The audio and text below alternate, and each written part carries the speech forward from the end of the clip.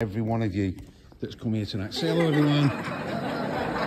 look at that. See, Mum. See, Mum. Look how many are here.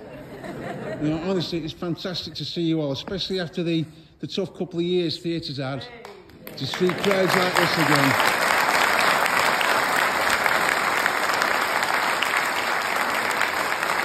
Absolutely brilliant. Sincerely, thank you to every single one of you that are here. The staff here have been magnificent. It's great to play a beautiful, haunted theatre like this. Superb. I mean, the, and the atmosphere tonight you, that you have given this show has been fantastic. So I just want to say a massive thank you. A massive thank you to all the management and staff at the Pomegranate Theatre. And just keep coming to theatre. bringing all back. It's, it's been amazing. Have you all enjoyed yourselves? Yeah. Would you watch it again?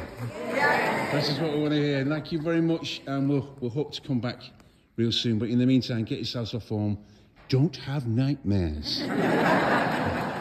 it's going to be quite a night. Yeah.